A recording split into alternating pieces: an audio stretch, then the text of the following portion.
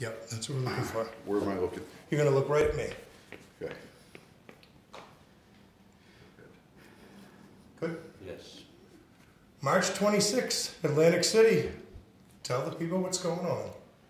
Um, you're gonna see something you've probably never seen before.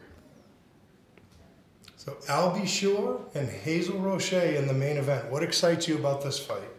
What excites me about this fight is um, that it's bec- celebrity boxing is becoming a spectacle now, and it's uh, being talked about all over the country. We're we're here in Beverly Hills, and the media is calling like crazy.